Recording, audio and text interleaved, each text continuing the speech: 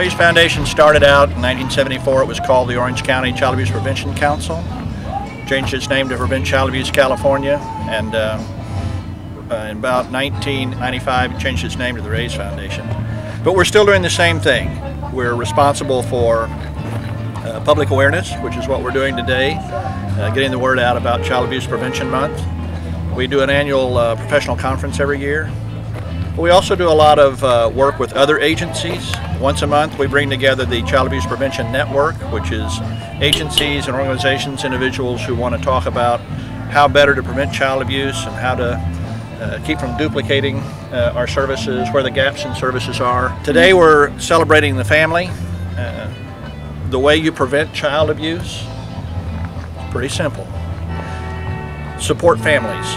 Strong, healthy families prevent child abuse. And so we're celebrating the family, trying to uh, encourage families, celebrate strong families. We're also taking this opportunity to pause and, and look backwards. We lost nine children to child abuse last year. It's a new record for Orange County. Last year we only lost two. That's the sort of thing we've got to, to see come to an end. Over 40,000 uh, child abuse referrals will come into the county this year alone.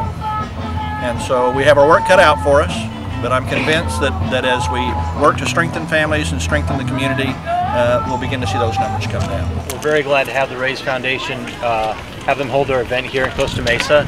Uh, this is very important for the community uh, to not only raise awareness uh, of, of, the things that can be done to prevent uh, child abuse, but also to have more activities for, for families and kids. Absolutely. And so we're, we're very happy to have this in Costa Mesa. It's a great turnout today, and uh, we hope to have continued success in the future. Um, we have several events. We're in collaboration with the Orange County Sheriff's Department, the Orange County Fire Department, um, since we're in Costa Mesa, we're also collaborating with the Costa Mesa Fire Department. We have um, quite a few bands that have come out to perform for us. We've had um, a dance group come out to perform with us.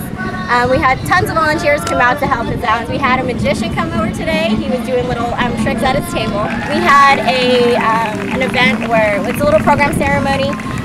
this event was created to inform the public about child abuse prevention and you know hoping that families we'll take this in and kind of um, realize that it's something that we do need to address.